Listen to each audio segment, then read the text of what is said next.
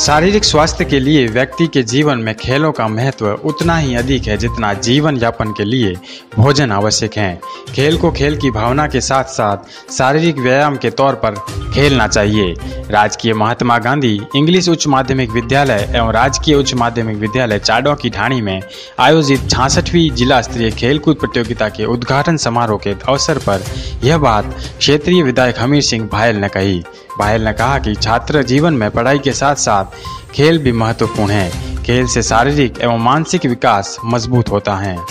सिंदरी उपखंड मुख्यालय पर स्थित इस अवसर पर पूरे ज़िले से आए विभिन्न स्कूलों के खिलाड़ियों के साथ चाडों की ढाणी स्कूल में अध्यक्षता महंत हनुमान दास ने एवं विशेष अतिथि के तौर पर सोहन सिंह भायल, पृथ्वी सिंह रामदेरिया, जिला परिषद सदस्य हंसराज प्रजापत राजू सिंह सोडा, सरपंच ईश्वर लाल, सरपंच जबर सिंह महेचा, मितेश यथी, खेताराम नैण सहित कई ग्रामीण एवं शिक्षाविद मौजूद रहे।